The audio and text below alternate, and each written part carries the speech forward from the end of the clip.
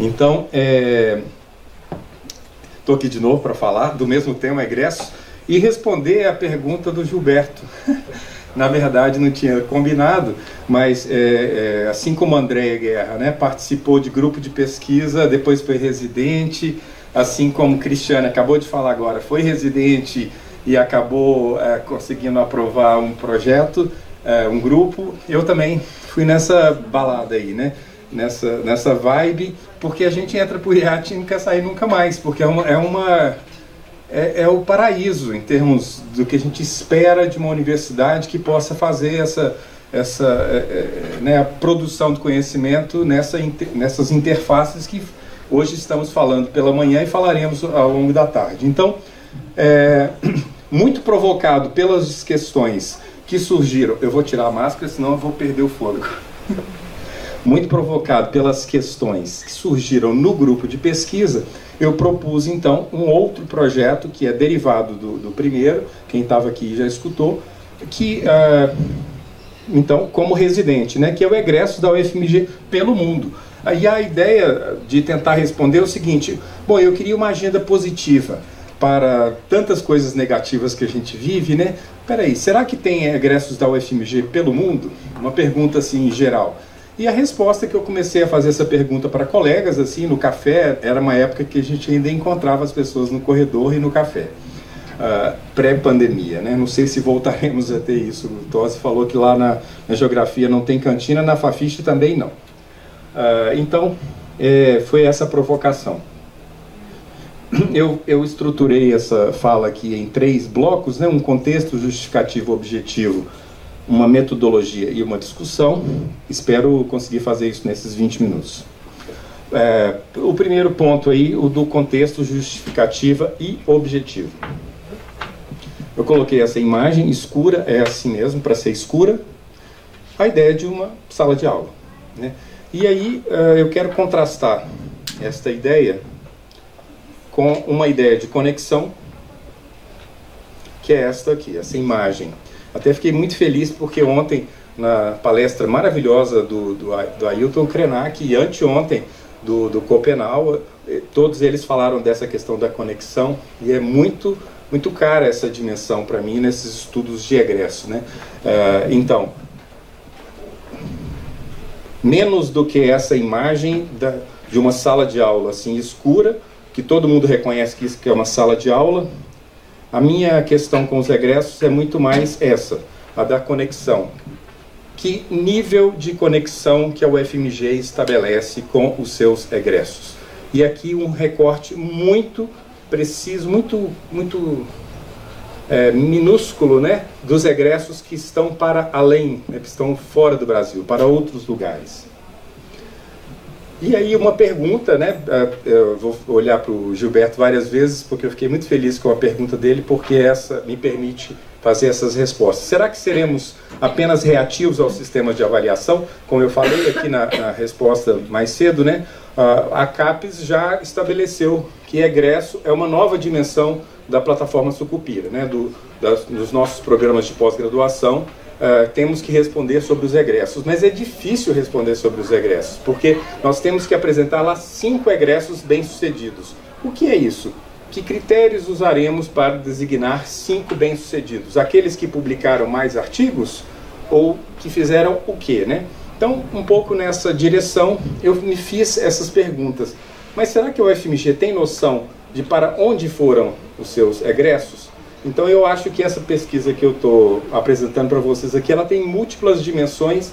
Uma outra que eu gostaria, gost, quero fazer em breve é o contrário, em vez de pelo mundo, pelos interiores das Minas Gerais, pelos interiores do Brasil. Mas obviamente eu não teria fôlego para fazer essa pesquisa toda de uma vez dada só. Né? Então eu vou mostrar para vocês aqui um pouco do recorte dos egressos da UFMG pelo mundo.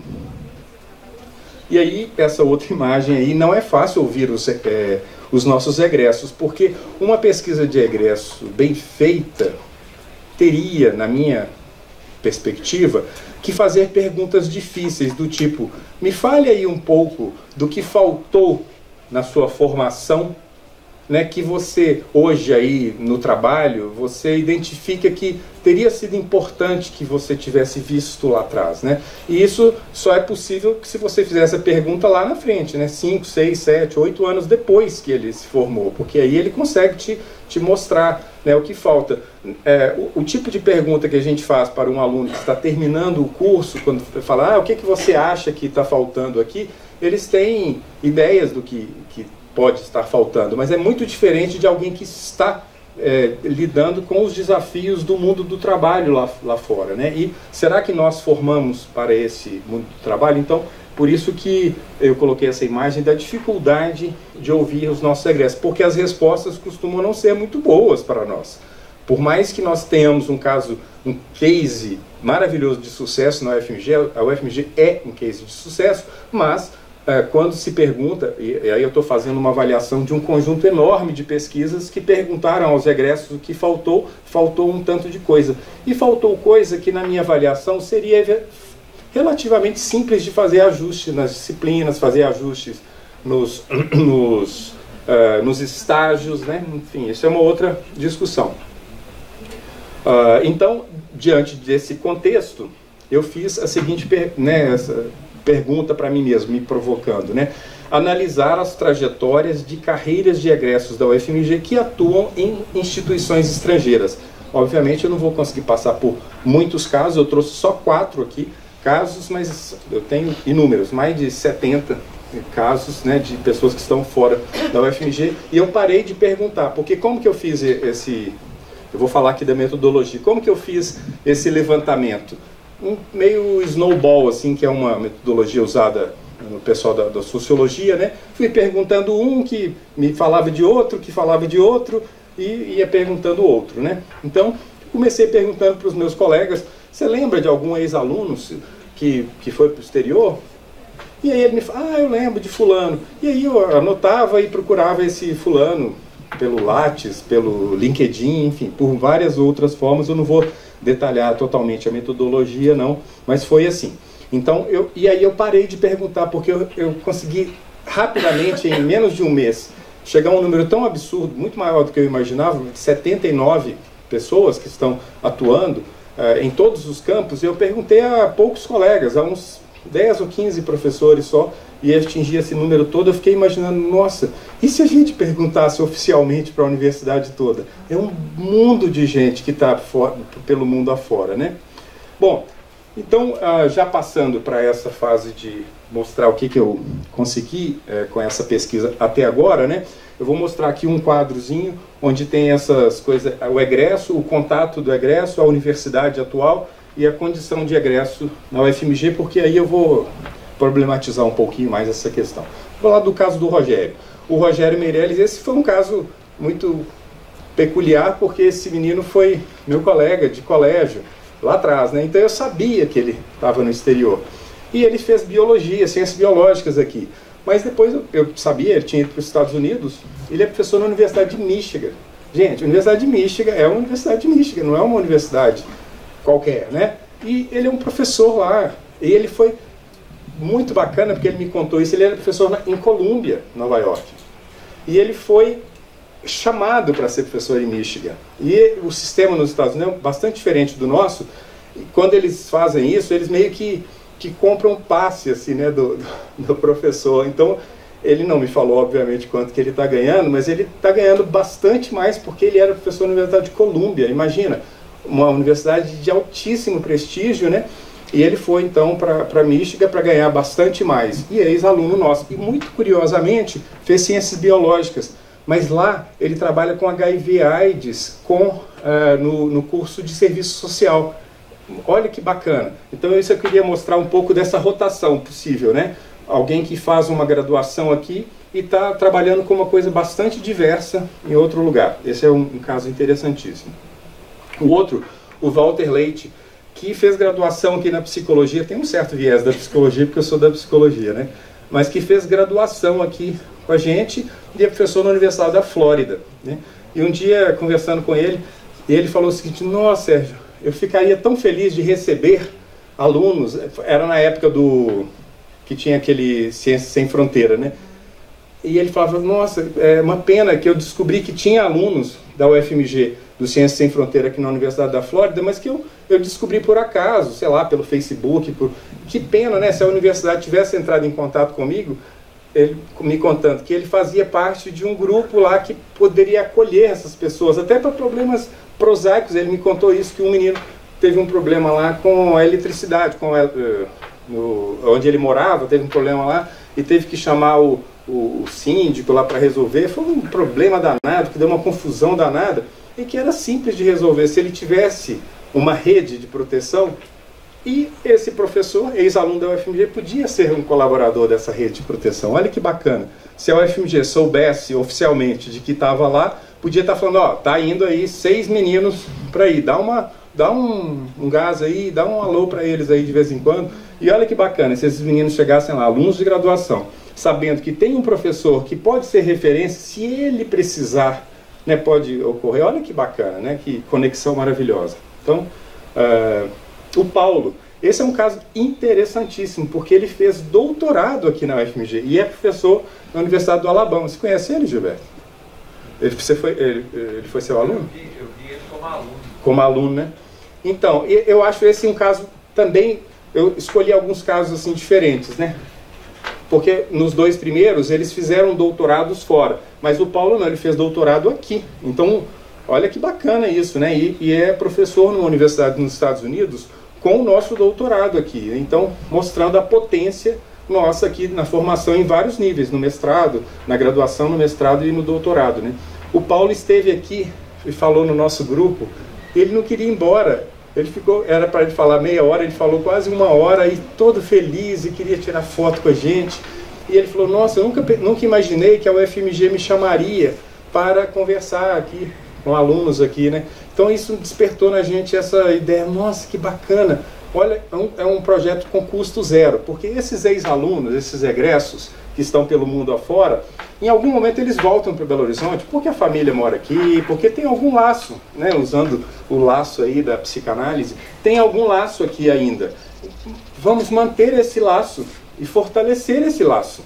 Então a FMG precisa fazer esse exercício porque é um custo zero, porque ele viria aqui de qualquer forma. Então ele vindo ficará super feliz de, é, de, de, participar de alguma atividade. Né? E já estou caminhando para o último, aqui o último exemplo, a Natália Salgado Bueno, que eu não conheço, fez graduação aqui em Ciências Sociais e é professora também lá nos Estados Unidos. E é, que é um. Eu, eu olhei a produção dela, tem uma produção sofisticada, é realmente muito importante a produção dela. Mas vendo aqui, você que é da Belas Artes, né? Sim. Eu lembrei de um caso aqui, de um menino que está no Japão, que fez claro. de, é. o... Ângelo Vasconcelos. Mas ele, Mokotan, ele tem um outro. Mokutan. Mokutan, exatamente. Um grande, um grande quadrinista. Quadrinista de mangá lá no Japão. De mangá. Olha que bacana, é, é, eu faço a brincadeira assim. É como se um japonês viesse para o Brasil e fosse contratado pelo Flamengo para jogar futebol no, menos, no, é. Galo, ou, né, Alan? Jogar num grande time que deu Alan. Galo. No Galo, claro, Flamengo. Falei errado. É como se eu, um japonês viesse aqui para jogar num excelente, melhor time, que é o Galo, não é isso? Pois é. Tem, a gente tem que fazer essas concessões aqui quando tá falando, né? Mas enfim. Não, não é verdade, exatamente, verdade. Exatamente. Falei bobagem, é verdade. Totalmente verdade. Mas então, mas olha só, essa brincadeira, gente, o menino está lá, fez aqui Belas Artes. Ele não tem traços orientais, isso é curioso ele é totalmente ocidental, ele não tem nada, nem no nome, nem no rosto. E foi para lá e virou uma pessoa importante lá no, no mundo do, dos quadrinhos, né, no Japão, que é o lugar dos quadrinhos. A UFMG precisa saber disso, precisa contar isso. Quando ele vier a Belo Horizonte, que a família dele ainda mora aqui, eu não o conheço, depois você me apresenta, porque eu quero o contato dele. Então, mas olha que bacana, ele virá aqui. Gente, ele tem que dar uma palestra aqui, ele tem que dar uma palestra na reitoria, no auditório, Claro. para mostrar para os alunos Gente, isso é legal demais, olha que bacana, o que, é que eu estou fazendo? Então, é, é, legal estudar aqui, né? A gente pode fazer muitas coisas. Então, é, já finalizando, eu, eu vou mostrar apenas quatro perguntas disparadoras para perguntas disparadoras que eu estou chamando perguntas que eu uh, farei na segunda fase da pesquisa, porque isso aqui é a primeira fase, a fase que começa agora são das entrevistas que eu farei com essas pessoas. A ideia é fazer um livro depois com um pouco da trajetória de carreira deles, né? O que você destaca em sua formação inicial na UFMG que contribuiu para a sua carreira atual? Esse é um tipo de pergunta muito típico desse tipo, desse, desse estilo de pesquisa, né? Quais foram os principais desafios da sua carreira até aqui? Também típico, mas essas duas outras são menos comuns em pesquisas de egressos.